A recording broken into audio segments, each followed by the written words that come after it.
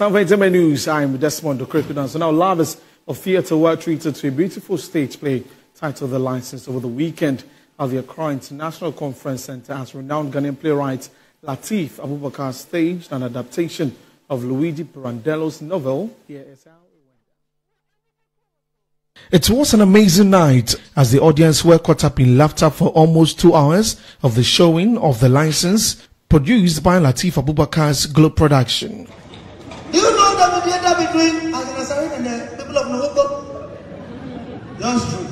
Mm, mm, mm. You, you will regret breaking me. You will regret, but I will turn you into a three-footed dwarf.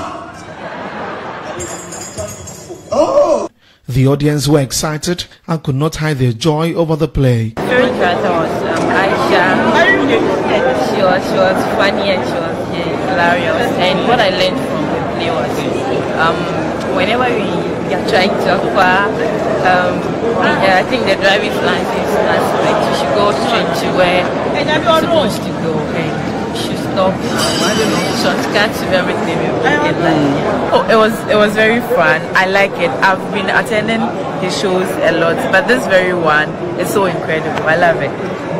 Cast member Omar Kaptan also expressed his excitement about the turnout for the play and the lesson to be learned. The interaction between the performers and then also the audience is right there in your face, so you can have you can have comments directly from the audience, and I mean, you, you feel honored at the end of the day when you hear those comments.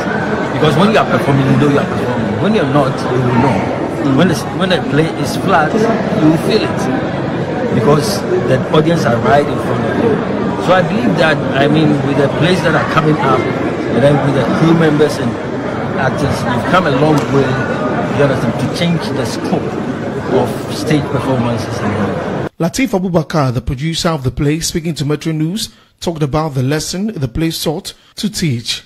Okay, so for us, we call it an original adaptation because when we are adapting, we just follow the plot and then the message, but we rewrite every aspect of the script.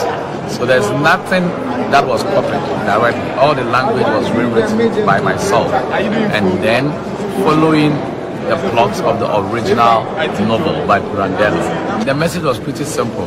We're trying to highlight the fact that a lot of people do certain things that they are not supposed to do because of how tedious, bureaucratic, and unwarranted, because of our tedious, bureaucratic, and unwarranted systems.